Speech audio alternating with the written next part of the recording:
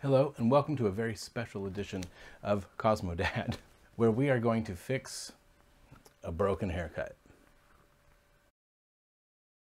Some of you may recognize Deborah and her three layers, and now we're going to see what we can do to mellow this out a little bit. If this is your first visit to my channel, I'm Holland Morgan. I'm a cosmetology educator and hairstylist here in Austin, Texas and around Texas. And I really enjoy the hows and whys behind the beauty, especially hair. And I think that if you can understand the mechanics and the chemistry behind hair, uh, then a lot of really difficult problems begin to seem easy. Like, share, subscribe, that would really help me out and I appreciate it a lot. So we're gonna get Deborah up on a stand and we're gonna talk about the tools and techniques it takes to make her haircut a little more acceptable. All right, so we've got Deborah here. Her hair has some issues. So if we take it back to the fundamentals of haircutting, there are what we would refer to as weight lines in this haircut. Weight is where a bunch of hair gathers, specifically the ends of the hair. So what we have is a bunch of ends that are falling to the same place, a bunch of ends that are falling to the same place, and again, a bunch of ends that are falling to the same place. If you haven't seen the video where this haircut was created, it was an April Fool's joke. Um, still gets a lot of views. People still don't understand it was a joke. now, the first thing to note when you're dealing with a haircut like this is maybe this guest was going for something specific. And we're going to say in this case, she did not get what she wanted. The only issue is now that you have not gotten what you wanted, now we have to pivot and just try to try to make this better. You may not at this time be able to get the thing you originally wanted, but we may have to adapt just to make something better out of what we have. I'm not saying your dreams are over, but maybe we need to come up with some new dreams. Now, once we establish that, there's a couple ways that we can deal with blending out weight lines in a haircut. Unless we put in extensions, can't make the hair any longer. That is a solution, extensions. We could put in some extensions and give it some longer hair through here with hopes to blend from short to long, kind of try to smooth this out, but we're still going to need to blend this to make it lay smooth on top of the extensions. In order to blend, we have a couple options. We have just standard hair cutting shears, which we can use in two ways. One is to incorporate layers. When we say layers, we're talking about elevating the hair up above 90 degrees from where it lives and cutting off that peak that we see there. In some cases, that is not a viable solution because that might leave you with really, really short hairs. If that's not a viable solution, we can choose to cut every other hair. So we can incorporate some slide cutting techniques or even some weaving with our shears or some thinning shears. Here I've got a 40 tooth shear and if you see right there, it just has all these little teeth. Now these shears look really aggressive. I should probably do a video on them sometime. This is a 27 tooth, oh, 25 tooth, and this is a 7 tooth. This one looks really aggressive, like it's going to do something scary.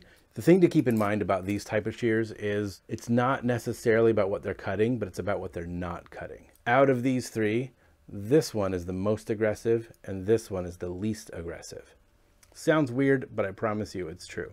If it were me, I would use this 25 tooth from Joewell. I've had this one for over a decade. It's kind of my favorite thinning or texturizing shear I've used. And if I take this into the side right here, I can essentially cut every other hair or every other little section, leave some longer hair, and that's gonna allow that weight to kind of collapse. You could also use a razor for these techniques too.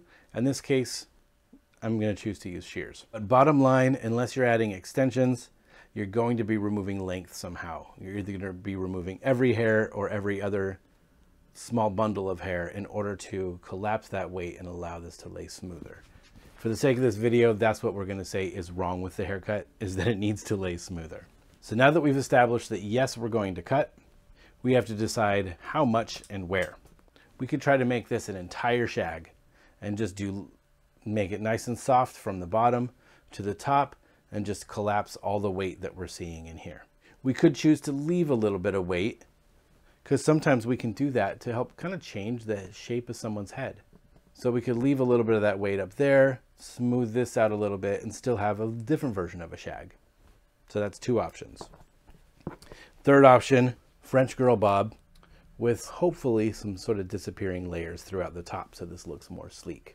Those first three options would be taking a terrible haircut into an okay haircut. If I want to take a terrible haircut into an amazing haircut, then we have to get rid of all this mess. We could turn it into more of a Bixie or a Pixie and remove even more length there, turn this into our ideal length, and then in that case, fine. We could turn it into an amazing pixie cut. We're gonna assume that this person is kind of attached to their length, is okay with a bob. Maybe they're more conservative. They're not looking for a super trendy cut, but they asked their stylist for three layers and the stylist was very literal and that's what they got. Judging by the amount of weight that's here, we're going to be cutting off this length and just adding some smoothness in through here and then trying to blend this length so we can see the maximum version of our two options, blending, removing.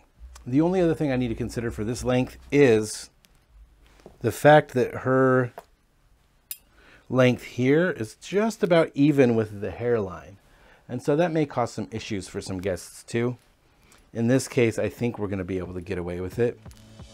So we're assuming that the hair is smoothed out fairly in its natural position. If this were on a guest, I would do some smaller sections for a little bit more control. But her hair is pretty thin. She said goodbye to her length, and this is gonna need some cleaning up.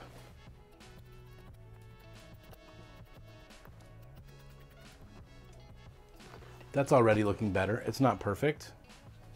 And in fact, I need a little bit of a lift back there to make it look better. I would even like a little bit of contour right there.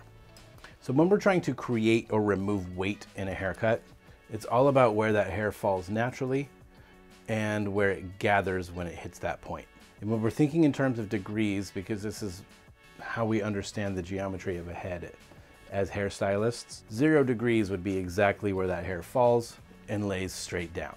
From the point where that hair grows, if I elevate, now I'm above zero degrees. And if I go straight out from where that hair is growing, that's gonna be what we call 90 degrees. If I cut that hair at 90 degrees, I got this section and cut at 90 degrees or above, that means everything that was part of that section that's below where I cut will, will get longer and longer and my shortest hair will be here at the top.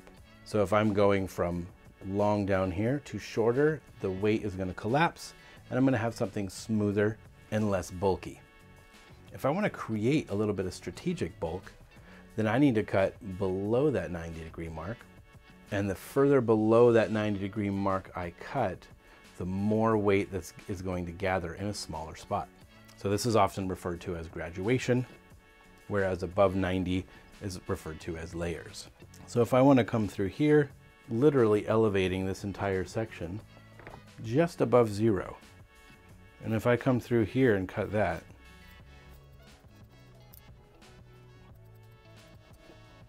then you can see that kind of shifts that weight line from way down here, pushes it up a little bit and adds that little bit of roundness.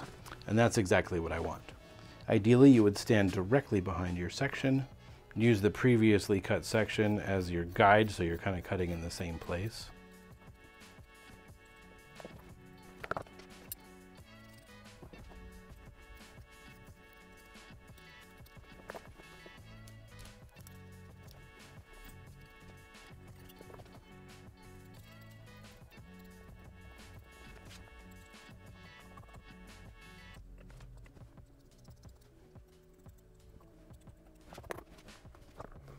Right, so it's it's not perfect.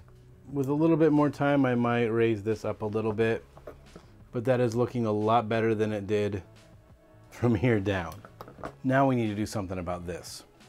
So what I think I'm gonna do, so on this half, I'll remove length to try to remove weight. So remember, if this is essentially zero, right the, the highest part of my section, which is here, needs to be elevated to 90 degrees, straight up, or more in order to release the weight and help it lay smoother. If I were to grab this hair and pull it out here, yes, I'm removing length, but I'm not removing enough length to make it lay smoother. I'll show you. So what if I just pulled this section here straight out and then just cut that off right there? When I drop it down, it's still bulky. I just moved the bulk. So what I've got to do is take my entire section, try to go 90 degrees from the tallest piece of that section to make sure that this hair here, which is coming from the weight line right there, that one gets to stay. So I'm going to go a little bit more than that. And we're literally just going to cut that off blunt like that. When I drop that down, You can't see it yet, but that section right there is laying a lot smoother. I've got to take care of all the rest of this stuff in order to show it to you. A really good strategy when you're trying to go through and remove bulk like this is also not to cut in a blunt line like I just did, but to come in and point cut. So now I've cut kind of a jaggedy line. No one's ever gonna know. In fact, it's just gonna lay smoother and blend even better. I am taking what are called radial partings. Where I'm basically going around the round of the head like slices of a pie.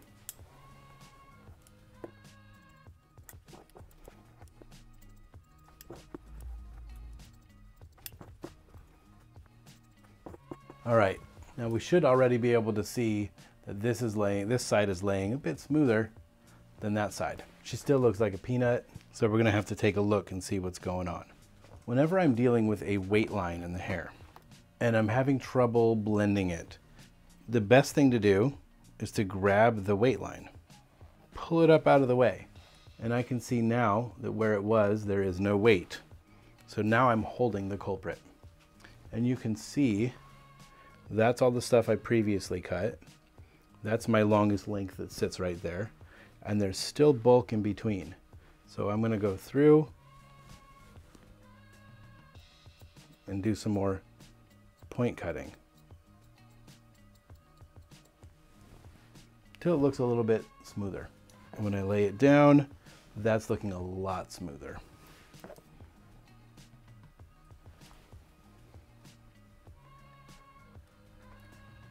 Now I'm 90 degrees from that hair in the middle, not the hair on the top.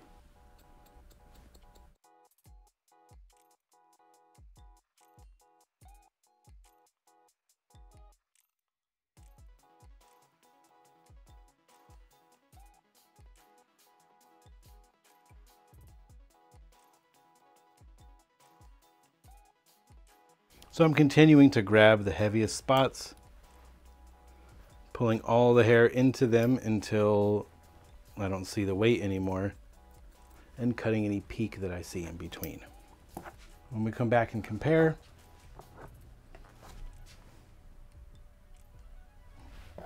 with that little bang section, disregarding that bang section, now we're feeling a lot smoother.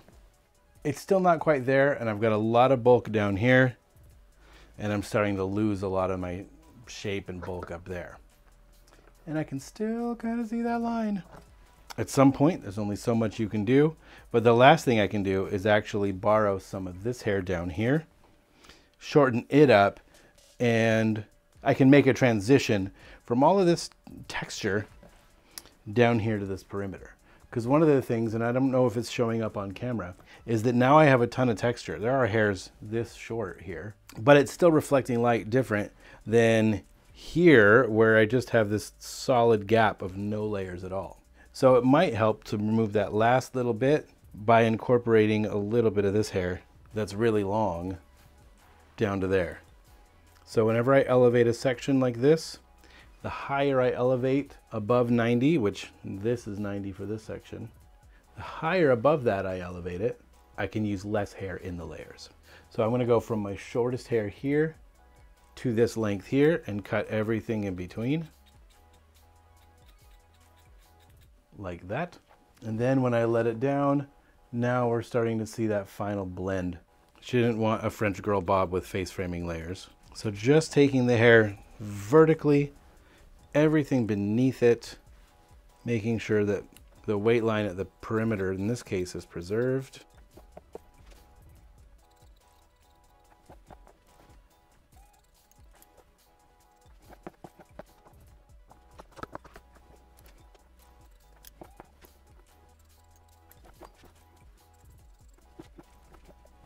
Now remember, our goal wasn't to make a perfect haircut, it was to make an acceptable haircut.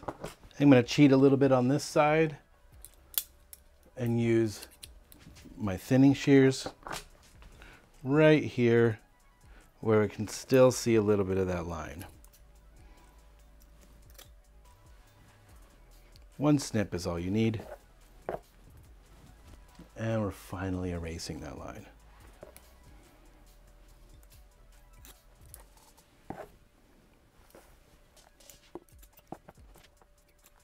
These have a lot of names, and depending on who you talk to, they'll classify them differently.